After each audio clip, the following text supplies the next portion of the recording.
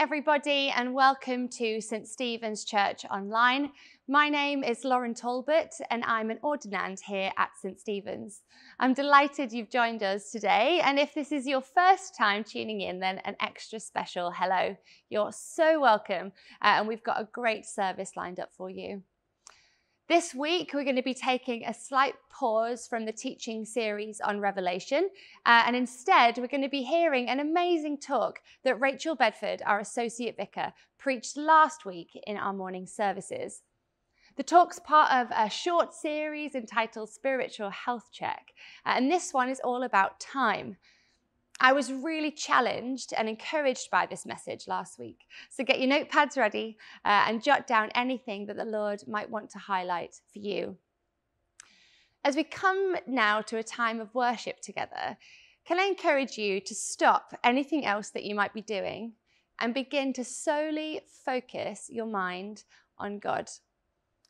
I'm going to read a verse from Scripture to prepare us from Isaiah 25, verse 1. I'm going to read it a couple of times. Uh, and as I do, can I ask you to close your eyes and begin to bring to mind some of the marvelous things that God has done? O oh Lord, you are my God. I will exalt you and praise your name, for in perfect faithfulness you have done marvelous things, things planned long ago. And again, O Lord, you are my God.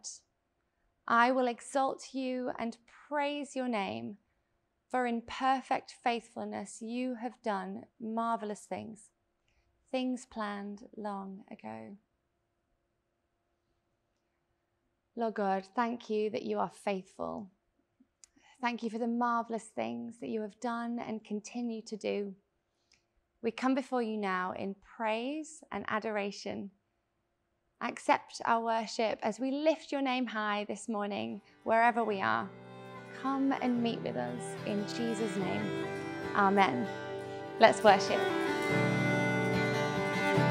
Cast my mind to Calvary, where Jesus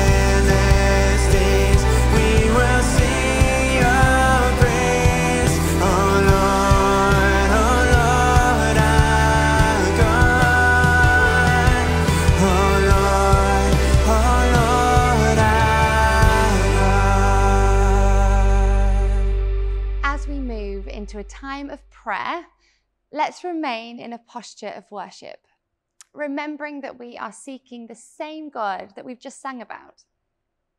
The God who entered into our suffering, died, and then defeated death for our sake.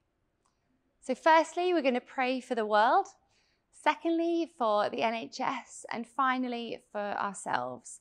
Um, and at the end of each section, I'm going to say, Lord, in your mercy. And if you, you could respond at home out loud with me saying, Hear our prayer. So let us pray. Living God, deliver us from a world without justice and a future without mercy. In your mercy, establish justice. And in your justice, remember the mercy revealed to us in Jesus Christ, our Lord. Take a moment at home to bring to mind places around the world that need God's justice.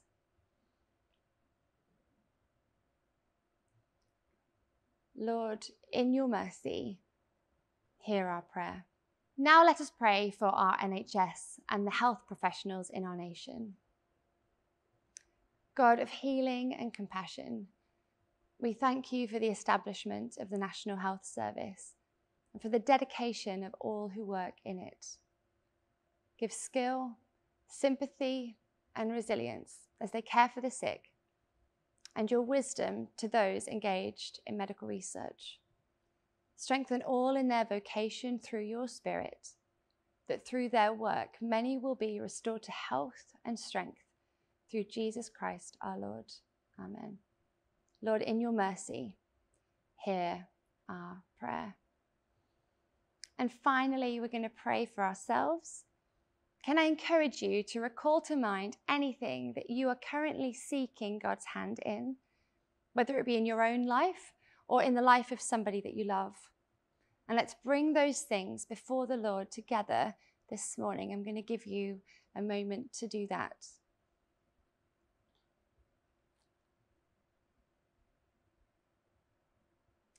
Psalm 139, verses 1 and 7 read You have searched me, Lord, and you know me. Where can I go from your spirit? Where can I flee from your presence? Lord, not only do you know the deepest longings of our soul, you are with us. Lord, we praise you that we can call upon your name. And wherever we are this morning and whatever it is that we've brought to you, Lord, in your mercy, hear our prayer. What a privilege it is to pray together this morning. And if you would like to pray with anybody further then about any of that you've brought up this morning, then please do be in touch. One of the team here would love to pray with you. We're going to move on now to our reading for today, uh, which, if you want to turn in your Bibles at home, is Ephesians chapter 5, verses 8 through 17. For you were once darkness, but now you are light in the Lord. Walk as children of light, for the fruit of the Spirit is in all goodness, righteousness, and truth, finding out what is acceptable to the Lord. And have no fellowship with the unfruitful works of darkness, but rather expose them. For it is shameful even to speak of those things which are done by them in secret. But all things that are exposed are made manifest by the light, for whatever makes manifest is light. Therefore he says, Awake, you who sleep, arise from the dead, and Christ will give you light. See then that you walk circumspectly, not as fools, but as wise, redeeming the time, because the days are evil. Therefore, do not be unwise, but understand what the will of the Lord is. Now, notepads at the ready. Uh, let's head over to last week's talk from Rachel. Well, good morning, everybody. I'm Rachel. I'm one of the vicars here and delighted to be um, speaking to you today in this third part of our little New Year's series called Spiritual Health Check. So, we spent week one looking at identity. Who are we in God? And then we spent week two looking at purpose. How do we find our purpose? And today I'm going to speak about time. We talk about time all the time, don't we? Think about all these idioms in the English language time rich, time poor, all the time in the world. Time flies, time is on my side. In the nick of time, killing time, turn back time, wasting time. I had a whale of a time. And there's no end of books about time management or about building habits. I've got several, many of which were at the church office, but a few of which I had lying around at home. Here we go The Power of Habit, all about how to have good habits to maximize time. Or this one is called At Your Best. This one, 4,000 Weeks Time Management for Mortals. Perhaps these sorts of books are really inspirational to you, or perhaps you find them really quite stressful. Oliver Burkeman, in this one, the, the 4,000 Weeks Time Management for Mortals, explains that despite our labor saving devices, we're plagued by filling inboxes, lists, and the feeling that we should be doing more. He writes, busyness has been rebranded as hustle. Pressure to fit ever increasing activities into a non increasing quantity of daily time. Time, our most precious, most finite resource. We can make more money, we can make more space, but we cannot make more time. In recent years, one approach to making the most of our times has been to talk about this thing called life hacks which I find really fascinating life hacks as a kind of play with language. I mean, I, what? I'm guessing the idea is that you sort of take an axe metaphorically to your day and you try to cut out of your day the things that are wasting time. But as Burkeman writes in this book, productivity can be a trap. He says becoming more efficient just makes you more rushed. Trying to clear the decks simply makes them fill up again. Now, I'll let you into a secret. I love a book on time management, and I actually have quite a stash of them at home. but the first thing I want to say is this that all the productivity wisdom out there is nothing compared to the wisdom the Bible has for us about how we use our time. And so, the goal of today's talk is to encourage you to apply a spiritual health check to your time, but through the lens of the Bible. How can we let what it says in here shape how we think about our time? I want to give you a little bit of context about the reading first before I just make three simple points. But the context first is this the New Testament speaks a lot about the doctrine of sanctification. St. Paul writes about sanctification, I'd suggest perhaps more than anything else. Sanctification means that as disciples of Jesus, we should be every day becoming more like Jesus. And part of our vision here at St. Stephen's is growing disciples. And a disciple that's growing is a disciple who is becoming more like Jesus. Before all else, our time should be orientated towards that goal. God says to his people throughout the Old Testament, Be holy as I am holy. And then Jesus says to the people around him, Follow me. He doesn't say, Oh, just kind of half heartedly wander behind me. Jesus says, Leave what you're doing and come and follow me. Copy me. Let your life be like mine. We are to be sanctified, to become like Jesus. That is the goal of the Christian life. Here in Ephesians, Paul explains in pictures in chapter 4 what it should look like to be a sanctified follower of Jesus. He speaks about the old life and the new. He says, You've been taught to put away your former way of life, your old way of life, and be renewed in your minds. And he uses the metaphor of clothes, which he comes back to in other parts of the New Testament. He says, Clothe yourself with the new self. Be like Jesus.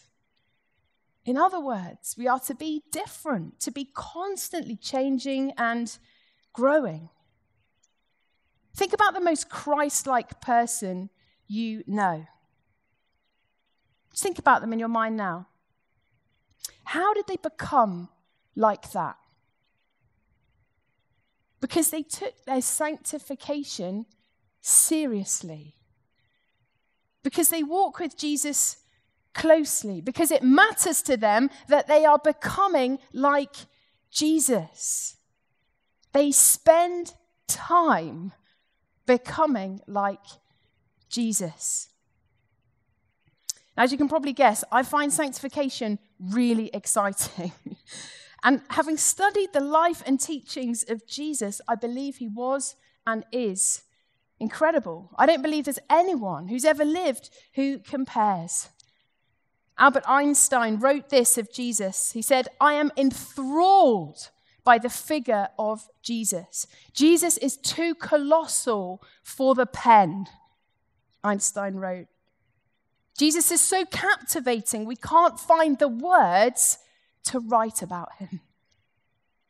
And let me say this if you are visiting church today, you're not familiar with the life of Jesus, can I encourage you to find out more? If you haven't read the Bible before or you haven't read it for a long time, start with Mark's gospel and find out about Jesus, how much he loves you and wants to know you.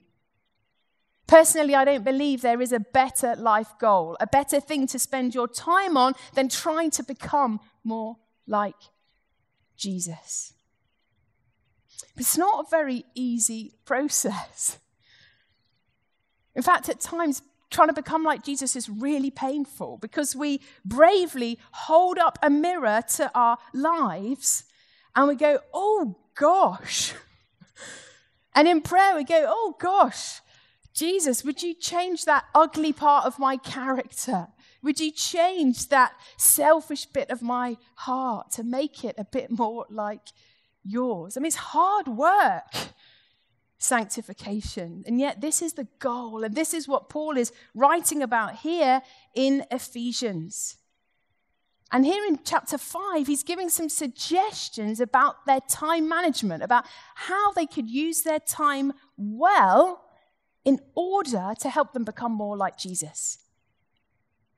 Three simple points. Firstly, he says, See then that you walk circumspectly. See that you walk circumspectly. He writes, See that in your everyday life, as you literally walk and add those steps on your watch, that you are circumspect. Now, in the original language, it doesn't mean by circumspect kind of suspicious. What it means is be careful, be diligent, be earnest, be accurate. Paul is saying what you do with your time really matters. Be careful with the time you have. I wonder how often someone has asked you to do something or be somewhere and you've responded, I don't have time. I say that loads. I say it really quite regularly. But logically speaking, can I be so bold as to say, when we say that, it's complete nonsense? Because every day there is buckets of time, right? Every day the sun will rise, and there it is, time. we do the day, the sun will set, and then the next day the sun will rise, and there it is, time. So maybe a more accurate thing to say when people ask us to do something or to be somewhere is to say, I can't make time for that. Or to admit, I, I didn't make time for that because I'm, I'm doing something else. It's a bit more honest, perhaps a bit more thoughtful, a bit more circumspect about what we're doing with our time. Regularly, because I have decided to use my time for one thing, it means I have not been able to do something else. And I know that sometimes that has meant that I have disappointed people. And for many years, I carried that disappointment and guilt all the time. But let's remind ourselves of Jesus' approach to his time. I love the story in Mark 1 where this is right at the beginning of Mark's gospel. We, we read that Jesus goes to visit Simon's mother in law, who is sick. And he arrives there and he heals her. And the news gets out that Jesus has healed this woman. And then it says in the text that loads of people come to the house they start knocking on the door because they too want to be healed. Then we get the impression that Jesus must have healed a few of them and then stayed overnight. And then in the morning, it says this it says, Jesus got up. In fact, the Greek says, Jesus snuck out. He snuck out because there's all these people everywhere. He's tried to sneak out. He left the house and he went off to pray. And the disciples wake up and they don't know where he is. And they're quite annoyed because there's loads of people who have come to get healed. And when they find him later on in the day, the disciples are really grumpy with Jesus and they say, Where have you been? We couldn't find you. But Jesus isn't apologetic in that moment. He responds by saying, Let's go somewhere else. Let's go somewhere else. In prayer, because that's what he's been doing, he has discerned, let's say no to that in order to say yes to this. Jesus has probably disappointed people with the decision that he has made about his time. How comforting is that? For the moments when maybe we have to do the same. Time is finite. We cannot logically do everything. We cannot be all things to all people all the time. So we must prayerfully discern how to be circumspect about our time, how to be careful, how to be honest with people about what we can do and what we can't do and won't manage. And then not to carry the guilt about the stuff we can't manage. I feel that some people may be here today who need to hear that. For me to say to you, the Bible gives you permission. In fact, the Bible teaches you to approach your time in that way. Paul writes, See that you walk circumspectly. Just think it through. Be careful with how you spend your time. Secondly, Paul writes here, he says, redeem the time. I love that word, redeem. It means literally to rescue, to purchase. It would have been the word that they used at the time when they went to the marketplace to buy things, to redeem, to buy things from the marketplace.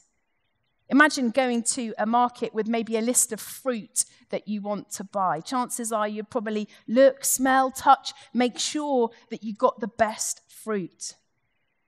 And now imagine that that fruit represents pockets of time. Paul writes, redeem the pockets of time. Choose the best time for the things that you want to do with it. Maybe all of us have pockets of time in our lives that need to be redeemed.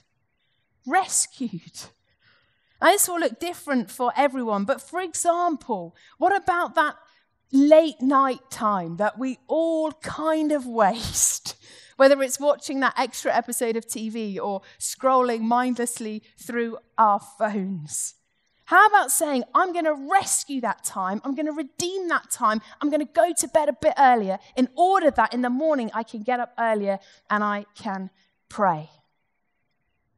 Do you know I have a alarm on my watch that goes off at 9:30 and it doesn't stop. It just goes go to bed, go to bed, go to bed, go to bed. and more often than not, I get really annoyed with it. And sometimes I ignore it.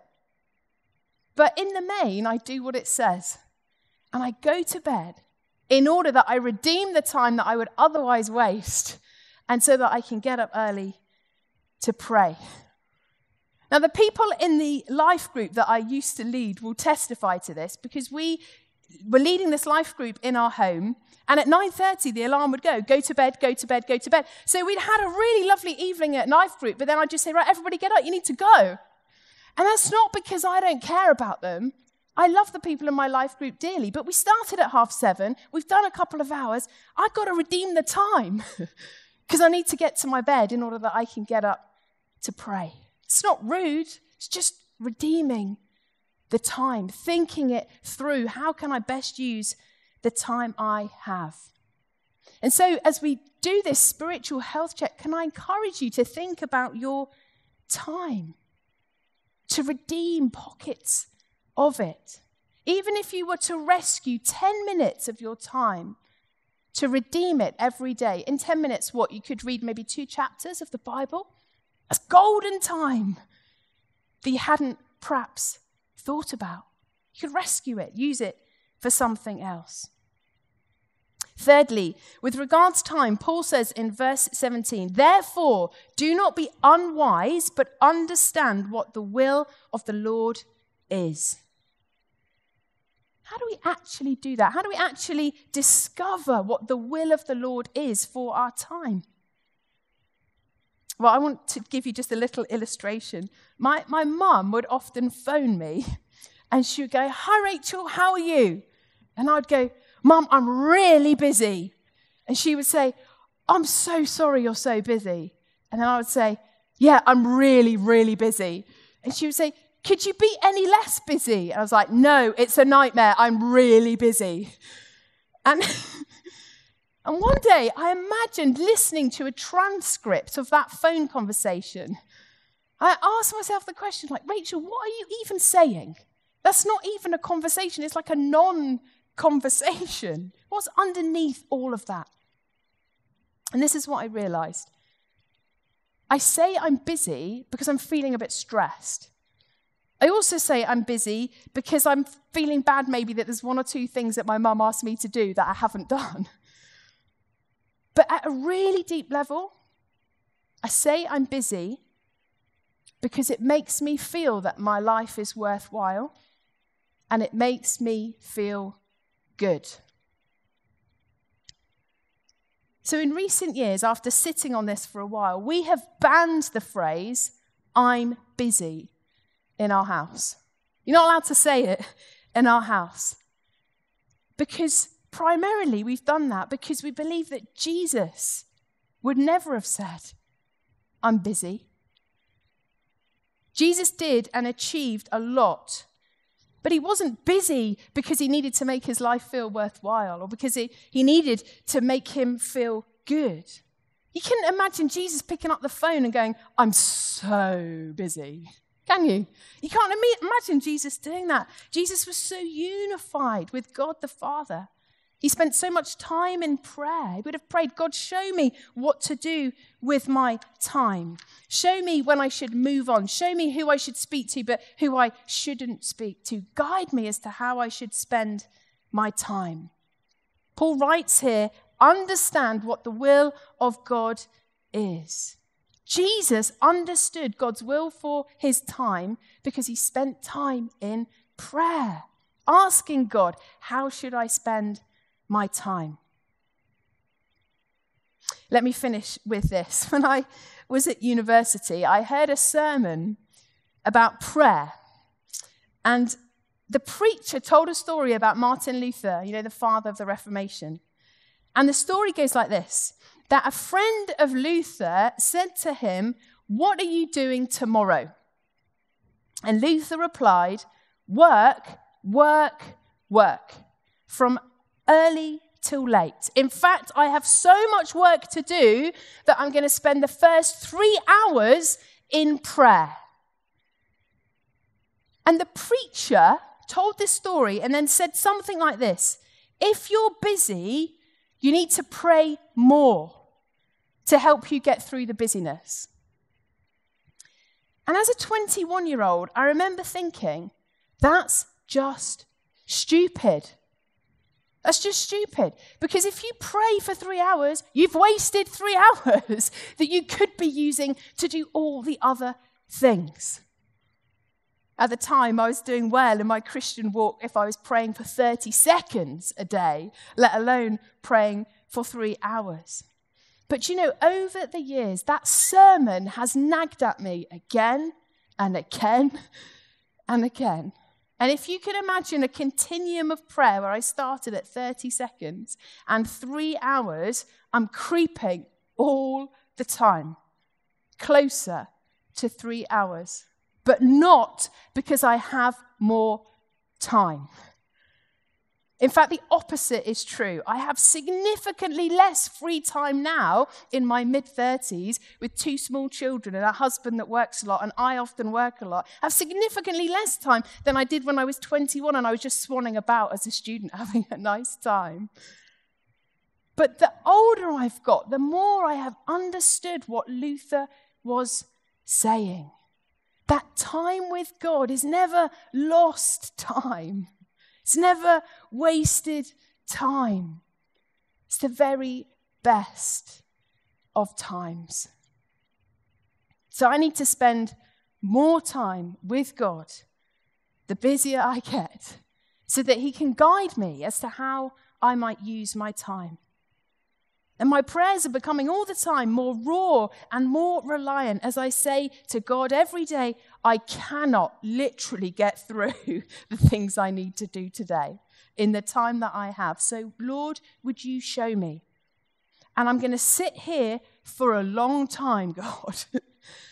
and I'm going to wait for you to guide me and show me how to have that conversation which email to prioritize, which meeting to say yes to or no to, which of my children to spend more time with today. I'm going to sit here for a long time, Lord, because I need you to show me how to spend my time. And I have to say, this has been such a source of freedom to me. I've come to believe that it is possible to have a lot of things to do and yet to remain unstressed about time. And I believe it's possible to be filled with incredible faith as to what our time can achieve. So, spiritual health check part three. What are you doing with your time? How might you redeem some of your time? How might you spend time with God, working out His will for your time. Amen. Wow, thanks so much to Rachel for such a challenging but freeing message. I don't know about you, but as a mummy of three young children, balancing the responsibilities of my family and also my training, time is something that too often feels in short supply. Rachel's challenge last week, uh, inspired by Martin Luther to pray more in the busyness, really struck me, uh, specifically around asking God how He wants me to use my time day by day. And it's something that I've already been able to put into practice this week. But what was it for you that has stood out this morning? Maybe a word or a phrase or something else? There's so much to consider from what it is that we've just heard. So as I pray now, wherever you are, allow God's Holy Spirit to continue to speak to you as you consider how He might want you to use your time more circumspectly, redeeming it wisely. Lord God, thank you for the message that you have shared with us through Rachel today. Thank you that you invite us into fellowship with you in prayer and worship and through your word. And we ask you that you would lead us and shape us more and more into your likeness as we spend time in your presence. God, we're sorry for when we haven't prioritized you, for when we've continued on in our own strength. Lord, I pray that nothing would draw us away from you, that before the activities and busyness of life overwhelm us, we would remember to spend time with you. Give us wisdom as we discern our response to this message and the strength to put whatever that is into practice. In Jesus' precious name, Amen. Let us sing our final song together now.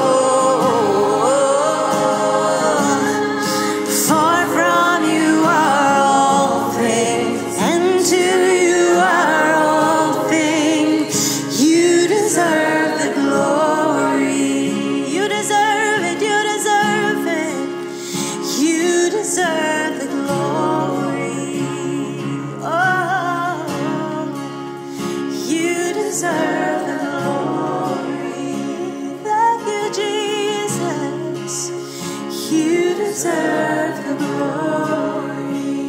So worthy, worthy. You deserve the glory. Yeah. You deserve the glory. It's been an absolute pleasure to gather together this morning, wherever you are. I pray that you've been blessed and encouraged by this morning. Before you head off, though, to the rest of your day, I'd love to pray Philippians 1 9 to 11 over you. May your love abound more and more in knowledge and depth of insight, so that you may be able to discern what is best and may be pure and blameless for the day of Christ, filled with the fruit of righteousness that comes through Jesus Christ to the glory and praise of God. Amen. Have a great week, everyone, and we'll see you again soon.